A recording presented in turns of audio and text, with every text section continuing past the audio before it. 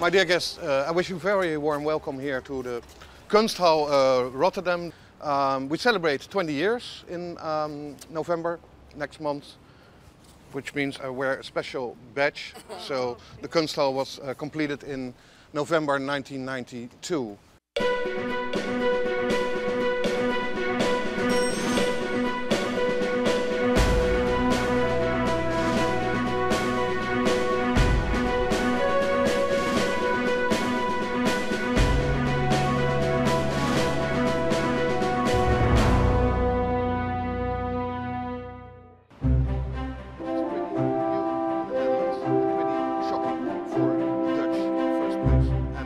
First reactions were pretty negative.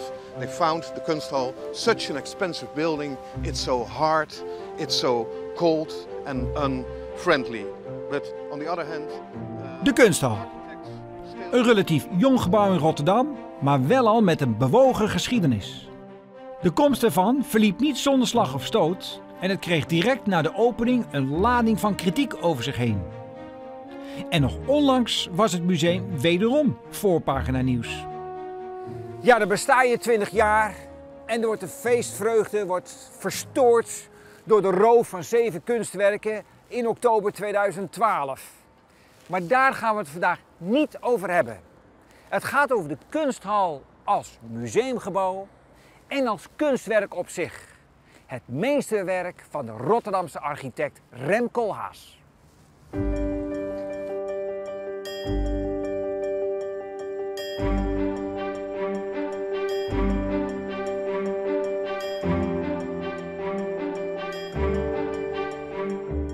Vandaag bekijk ik de kunsthal.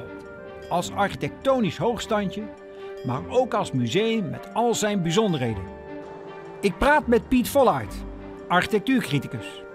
Een kenner en bewonderaar van dit gebouw. Mooi hè? Het, gebouw werkt. Het is uh, voor architecten smullen aan allerlei verschillende sferen en ruimtes. Ruimtelijk is het ook van binnen heel interessant. Het heeft een slimme logistiek en routing. Dus ja, alles bij elkaar. Een hartstikke goed gebouw eigenlijk. En ik praat met Wim van Krimpen, de eerste directeur van de kunsthal. Laat ik eerst zeggen, voordat ik iets... Ik vind Rem een fabelachtig architect. Ik ben, uh, en het gebouw vind ik ook eigenlijk geweldig. Maar er is natuurlijk wel alles gebeurd. Er zijn honderden dingen over te vertellen. Hoe, hoe dat ontstaan is, hoe dat gegaan is. Want er was... Ja, Wim van Krimpen kan niet wachten. Maar eerst terug naar het begin. Het idee achter de kunsthal. Wat is het eigenlijk en waarom moest er in onze stad één komen? Het idee was om ergens in Nederland een locatie te hebben, een grote hal, waar alle belangrijke musea hun zogenoemde blockbusters konden presenteren. Sinds de jaren 70 namelijk organiseerden steeds meer musea publieksvriendelijke megatentoonstellingen. Spektakelshows voor het grote publiek. Salvador Dali, goden en farao's, het goud der Thraciërs, ook museum Boymans van Beuningen kennen zijn grote tentoonstellingen waar enorm veel publiek op afkwam. Maar eigenlijk was het museum daar niet op berekend. En dus bedacht men in Rotterdam, we maken een gebouw speciaal voor die grote tentoonstellingen. Maar nog voor de bouw begonnen was, kwamen die andere museumdirecteuren daar ineens op terug. Bang dat ze hun eigen inkomsten zouden mislopen. Dus ja, toen, toen ontstond er een interessante situatie. Toen dacht ik, nou ja, dan ga ik zelf maar programmeren. Wat moest ik?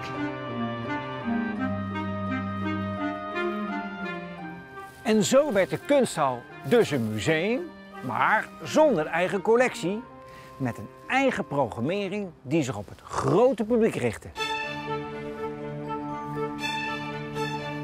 Maar eerst moest die kunsthal nog ontworpen worden. Er werd een wedstrijd uitgeschreven en die werd gewonnen door Rem Koolhaas. Een architect, geboren en getogen in Rotterdam. Op het moment dat dit eh, werd ontworpen was hij in Nederland al redelijk bekend en berucht ook trouwens. En ook in de, in de rest van de wereld bekend aan het worden. Maar dit is wel echt een, een sleutelwerk in zijn uh, carrière, in zijn loopbaan. Je zou kunnen zeggen vanaf de, de kunsthal is Rem Koolhaas een wereldarchitect geworden. Dus in dat, ook in dat opzicht is het een heel belangrijk gebouw. Maar op het moment dat het ontwerp van Koolhaas werd verkozen, was Wim van Krimpen nog geen directeur. Hij had deze Rotterdamse architect hoog zitten. Maar hij had ook zo zijn eigen ideeën over de kunsthal.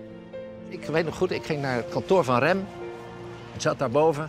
Uh, ik, ik, begon dus uh, aardig hè, de, te introduceren. Ik zei, nou Rem, uh, ik, ik, ik, ben mede naar Rotterdam gekomen omdat jij de architect bent en omdat jij dat gaat maken.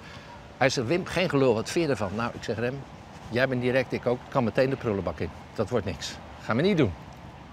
Nou, toen werd hij even, ja, verkleurde hij een beetje en zo. En toen, drie weken later, liep hij mijn galerie binnen met een maquette. Die zette hij op mijn bureau neer. Dat was dit.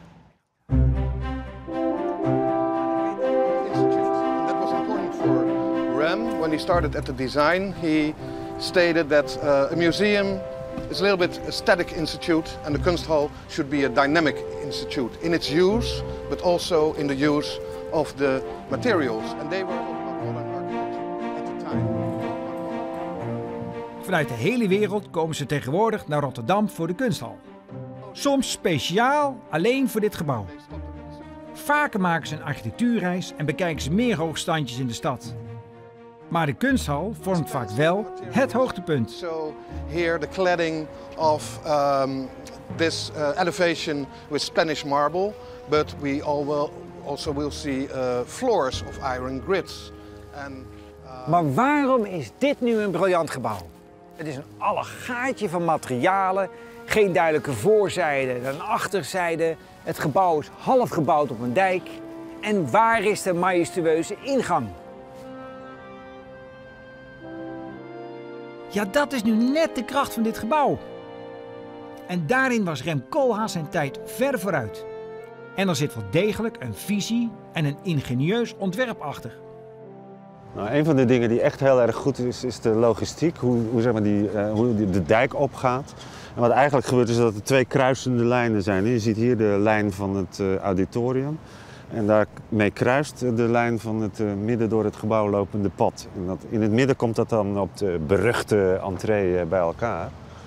Maar daardoor is het mogelijk geworden om door dit hele ding een, uh, een spiraalroute te lopen. En tegelijkertijd die, die onderdoorgang daar behouden te blijven. Want daar moesten vrachtwagens onderdoor kunnen blijven rijden. En dat was eigenlijk best lastig opgave. En dat, is, dat alleen al is heel erg goed opgelost. Ja, en zoals Rem Koolhaas later wel vaker zou doen, spot hij hier met de ongeschreven regels van de architectuur en heeft hij lak aan wat men toen esthetisch verantwoord vond.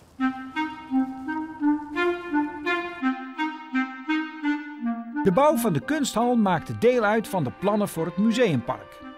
In 1992 werd de kunsthal in aanwezigheid van de architect geopend. Door koningin Beatrix die de eerste tentoonstelling met veel interesse bezocht.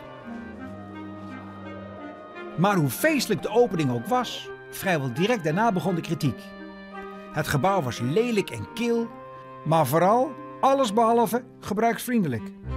Bijvoorbeeld die vreemde ingang, min of meer verstopt in het gebouw. Nou, dat is altijd, dat is altijd een beetje het, het, het, het, zogenaamde probleem geweest van de kunsthal, de ingang van de kunsthal. Die moet je zoeken. Uh, nou, ik vind dat een cultprobleem. Uh, als, je naar, als je naar de kunsthal gaat, dan ga je, ga je voor, in principe voor de inhoud, voor ja. wat er is. Ja. Als je hier bent, dan, dan, dan zoek je toch even de ingang op. Wat is nou het probleem? Al in het begin dacht iedereen, nou, dan ga je vreselijk lopen zoeken. Niemand kan de ingang vinden. Maar ja, iedereen vindt hier toch die ingang. Zie jij uh, mensen van, god, waar zou de ingang zijn?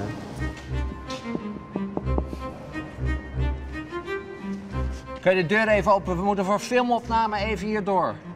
Kun je de deur even open doen? Maar er was meer kritiek, ook van de directeur zelf. De kunsthal bleek er wel architectonisch vernieuwend en exceptioneel, maar was niet altijd even praktisch. Dit is wel een fenomeen, want het is natuurlijk de entreehal, maar het is tevens het auditorium. Ja. Dat is een idee en een vondst van Rem. Ik ben daar wel enthousiast over, maar het geeft natuurlijk een beetje... Uh, als je dat auditorium apart wil gebruiken, dat kan eigenlijk niet. Nee. Ja, als directeur ben je natuurlijk voortdurend op zoek naar extra inkomsten. En wil je eigenlijk dit auditorium ook op de dag verhuren? Maar dat gaat natuurlijk niet, want dan lopen hier de museumbezoekers. Dat neemt niet weg dat die nauwe ingang, waar de bezoekers dus naar binnen komen, wel een bijzondere ervaring teweeg brengt als je deze grote zaal binnentreedt. En dat is misschien wel de essentie van de kunsthal. Je komt voor een tentoonstelling, maar krijgt de ervaring van het gebouw erbij. Ook al is het ontwerp misschien niet altijd even logisch en praktisch. De Rem heeft allerlei filosofieën. eh, dus, eh, dus die glazen wanden, dat is het zicht op de stad. Dan zeg ik, ja, hallo, het gezicht op de stad. Je moet in dat gebouw zijn, je moet naar de kunst kunnen kijken. Je hoeft niet naar de stad te kijken, dan ga je maar buiten staan. Nou, dus toen het gebouw klaar was, heb je hier beneden een glazen wand naar het park. Dat is gezicht op het park. En boven een glazen wand, Ja. gezicht op de stad. Ja, daar staan dus altijd wanden voor. Die heb ik meteen laten maken.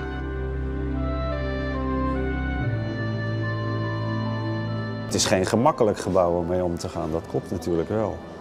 Maar voor heel veel gebruikers, kinderen bijvoorbeeld, is het natuurlijk een feest, eh, dit gebouw. Je kunt lekker rennen door het gebouw. En het is ook gewoon gewoner geworden. Dit soort eh, grappen die hier eh, voor het eerst toegepast zijn, die kom je nu ook op allerlei andere plekken ook wel tegen.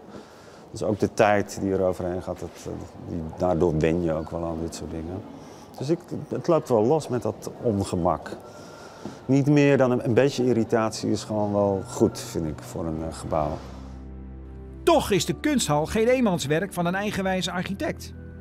Wim van Krimpen bemoeide zich er vanaf het begin nadrukkelijk mee. Hij moest er tenslotte zijn museum in runnen. Waarom is de kunst zo goed? Omdat het geen compromis is. Dus als Rem zwart zei en ik zei wit, werd het nooit grijs. Dan werd het gewoon uitgevochten. Dan werd het of wit of zwart. Daarom is dit zo'n goed gebouw. En dat zie je bijna overal terug in het gebouw. Bijvoorbeeld als je kijkt naar het gebruik van de materialen. Er is gebruik gemaakt van hout, glas, beton, maar zelfs plexiglas. En hier botst het als het ware op elkaar. In die zin is de kunsthal een bijzondere collage van tegenstellingen.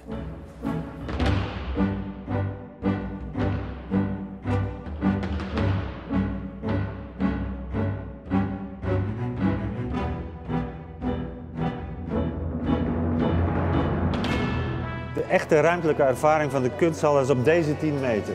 Je komt van het auditorium, kijkt naar beneden. Je loopt langs de oplopende daktuin. Je kijkt opeens schuin omhoog naar de hemel. En dan kijk je hier opeens een heel merkwaardig raam waar je nog net een klein stukje van die middengang, waar, eh, waar, dan kijk je eigenlijk weer de- door naar buiten. En vijf meter verderop ben je in de tentoonstelling. Dan heb je eigenlijk in die 10 meter ontzettend veel meegemaakt. Dat is de hand van de meester. Hieraan kun je zien dat dit gebouw van Rem Koolhaas is. Het is zijn sleutelwerk. Hiermee werd hij wereldberoemd. En na de kunsthal kreeg hij over de hele wereld prestigieuze opdrachten. Van Lille tot Las Vegas, van Berlijn tot Seattle en van Porto tot Peking.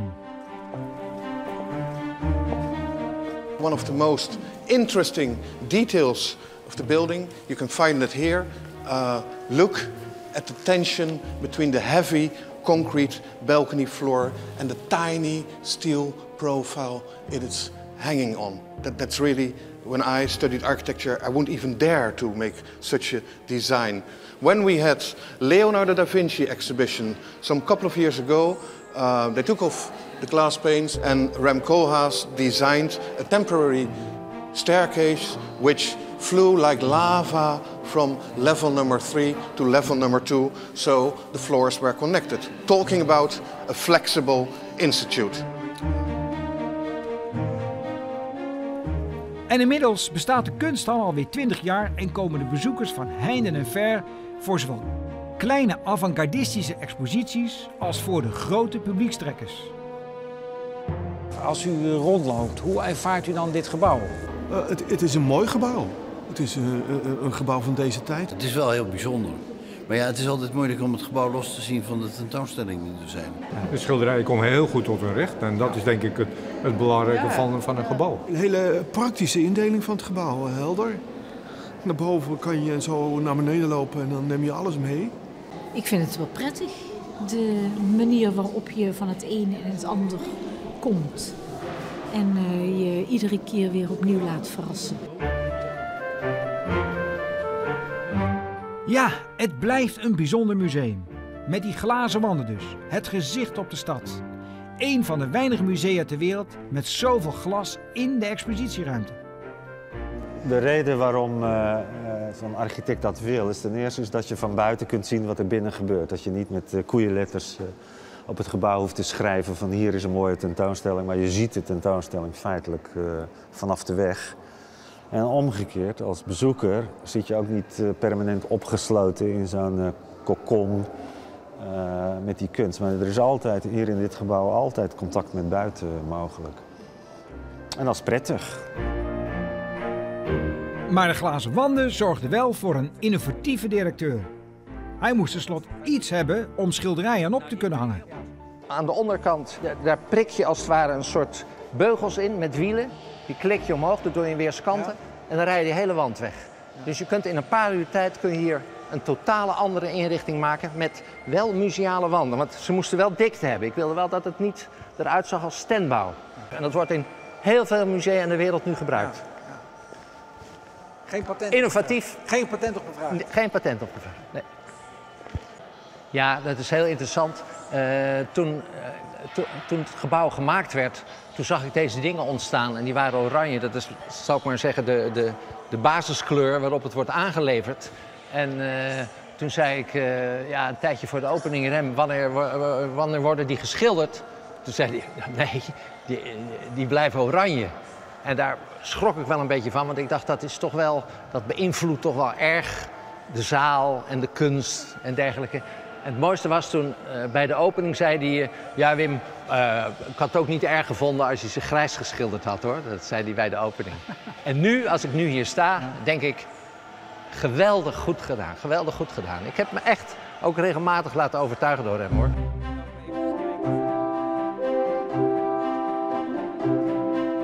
I must say, it's not really very practical. Think of ladies with high heels. It's impossible to walk over this floor. The other thing is when women with um, sh short skirts, and of course, there are some men who was always standing there and looking.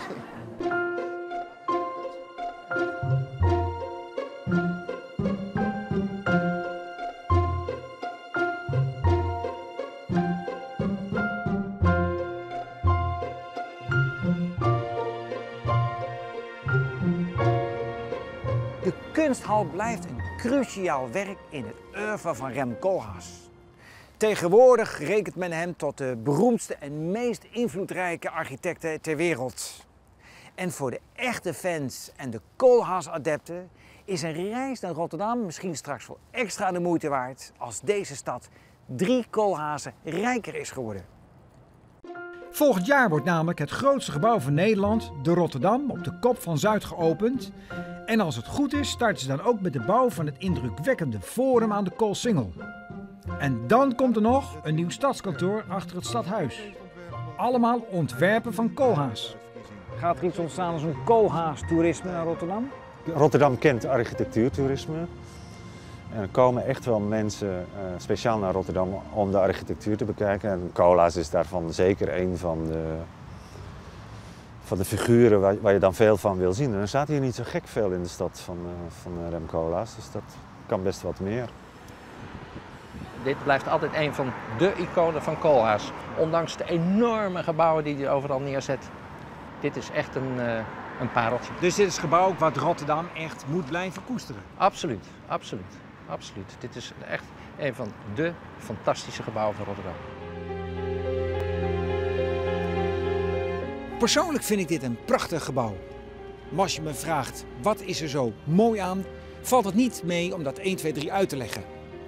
Het is in ieder geval een gebouw met bijzonder geslaagde elementen en natuurlijk zijn er wat minder fraaie elementen aan te wijzen.